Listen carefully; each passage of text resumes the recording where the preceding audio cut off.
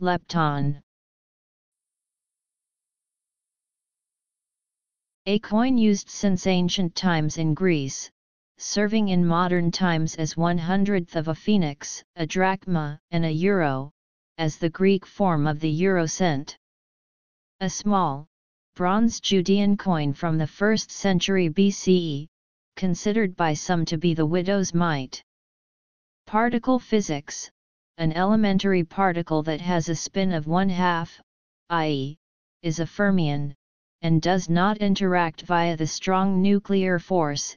Examples include the electron, the muon, the neutrino, and the tauon.